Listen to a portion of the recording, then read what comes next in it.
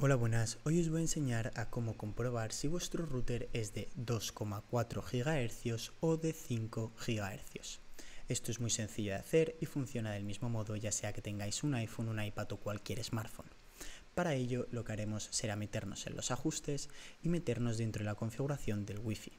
Ahora nos meteremos dentro de la configuración del router. En caso de tener un iPhone o un iPad pulsaremos sobre la I de color azul deslizaremos hacia abajo y copiaremos la dirección del router. Ahora nos iremos a vuestro navegador, en mi caso es Safari, y lo copiaremos en la URL.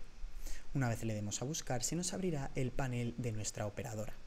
Seguramente os pedirá que pongáis la contraseña de administrador. En nuestro canal tenemos un vídeo por si no sabéis qué contraseña es esta, donde la podéis encontrar.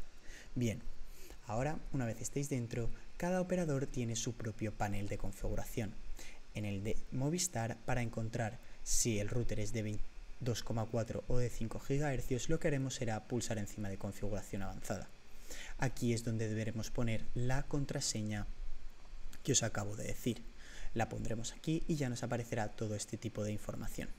Así que nada, esto es todo. Si tenéis cualquier otra pregunta, no dudéis en dejarlo en los comentarios. Hasta luego, gracias.